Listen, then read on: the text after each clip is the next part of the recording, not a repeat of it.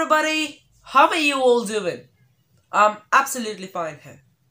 And friends, today we're going to talk about that eventful night 30 years ago of 26 December 1991 and how that day has affected the policies of modern day Russia.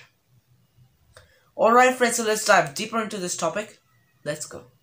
Now friends, 30 years ago, when the Soviet Union collapsed, Russia could not have been more different than the Soviet Union on the peak of its power.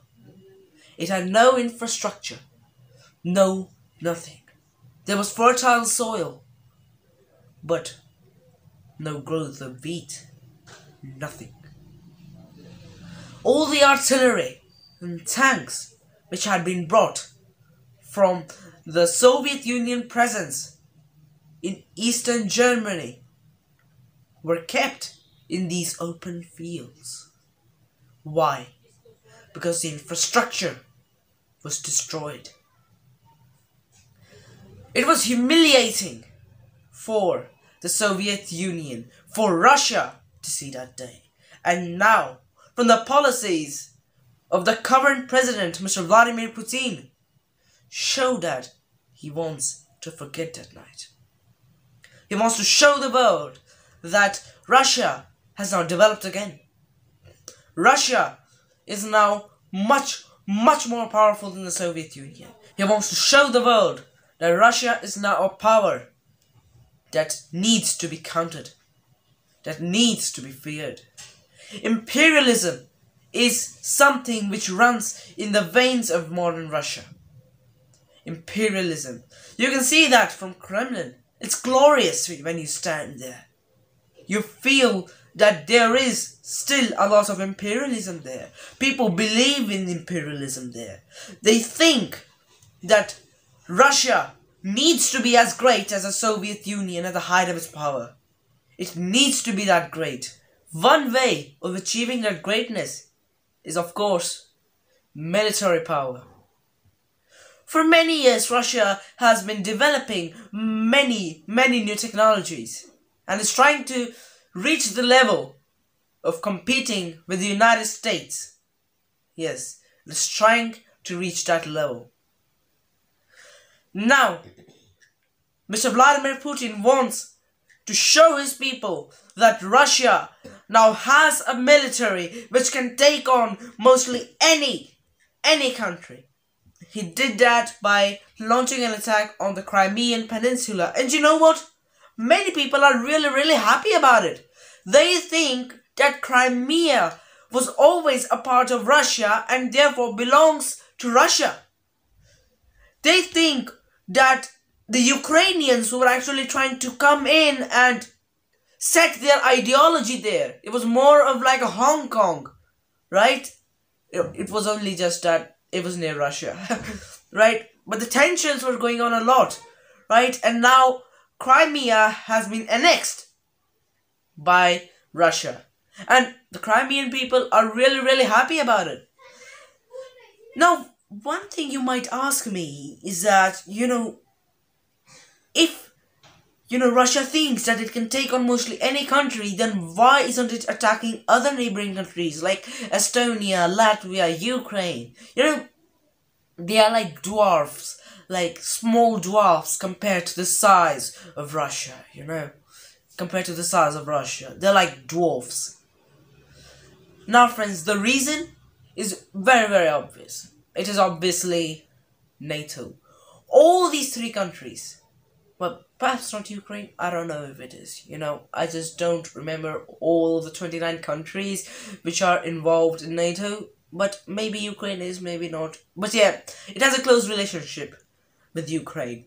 And you see, NATO has stationed many, many of its troops in Estonia, Latvia, and even in the Ukraine. Yes. And if, like, for example, if, uh, you know, Russia will attack Estonia, and Estonia is a part of NATO. So that means that all the countries which are under the alliance of NATO will declare war on Russia. And that is certainly not something which Russia can cope up with right now because NATO also includes the United States. And then again, it will fight a war on two fronts, one in the Pacific and one on land, you know, one with all the other European nations. So this is the thing. That's why it is not attacking, you know, many many other small uh, countries, you know. But again, you see, there are other ways with which Mr. Vladimir Putin is actually trying to gain control. Is actually trying to, you know, increase the influence of Russia.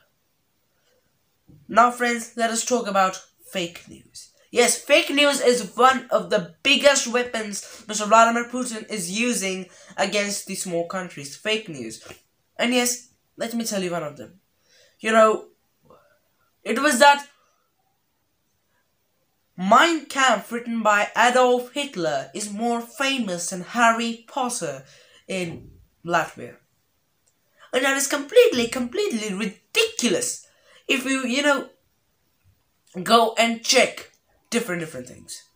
You know if you go and check different things and if you research about it a bit you see that it was completely completely ridiculous. This news was completely completely ridiculous.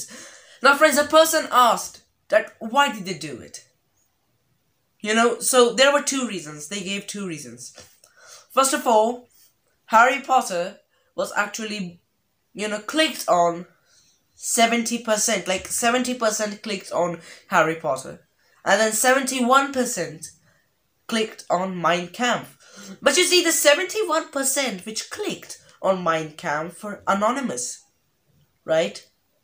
So that's why you can see that it was a fake news. Another reason was that it was in the market. You know, it was in the market and everything, you know. When they said that, but it is not the truth. You see, it is not the truth, so you must not say all this. Then you know what they said. Like, some of them said, actually, not all of them, but some of them actually said that you see, all the truth does not go out. You know, all the truth actually does not go out. People talk about what is in the market, of course, and they are quite right on their part, you know.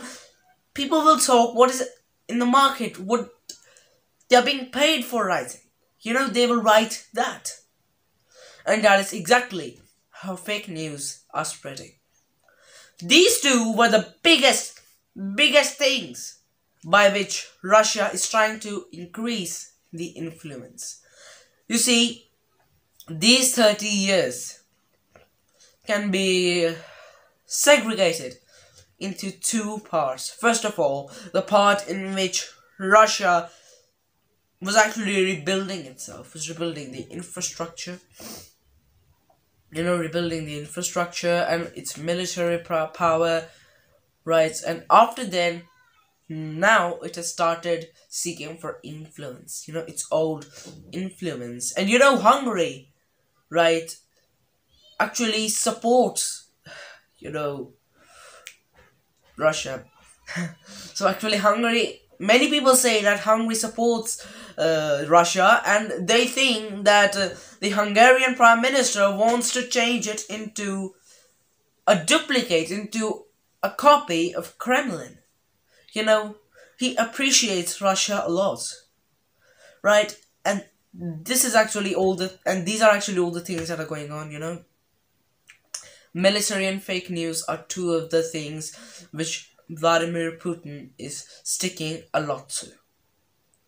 So alright friends, that's it for today. Now, hope you enjoyed the video and now I'm going to see you next time. So don't forget to share, like and subscribe and tap the bell icon also. And now I'm going to see you next time. Bye.